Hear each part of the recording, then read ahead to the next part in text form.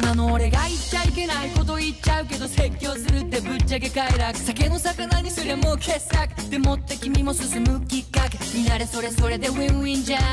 こりゃこれで残念じゃんそもそもそれって君次第だしその後なんか俺興味ないわけ。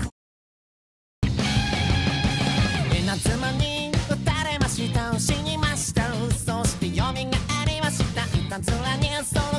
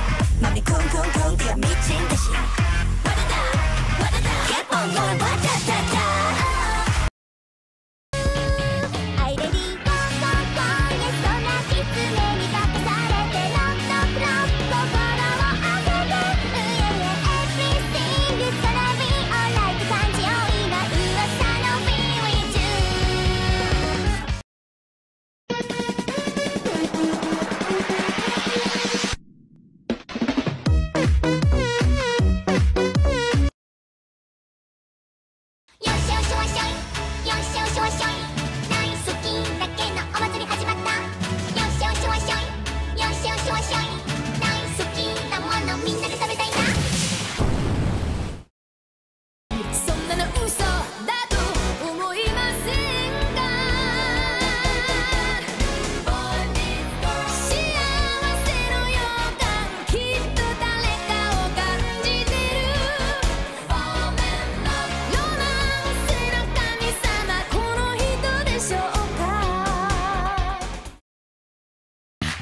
好き